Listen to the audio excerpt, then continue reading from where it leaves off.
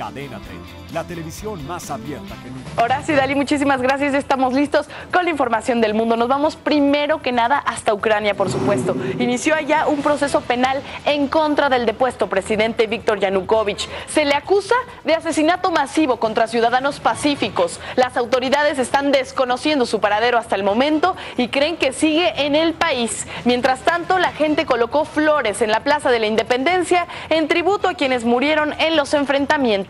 La ministra de Asuntos Exteriores, por su parte de la Unión Europea, Catherine Ashton, viajó a Kiev también para discutir cómo van a ayudar a Ucrania, que necesita al menos 35 mil millones de dólares para poder solventar la crisis económica que se vive. Suscríbete a nuestro canal de YouTube para que siempre estés informado de las últimas noticias de México y el mundo.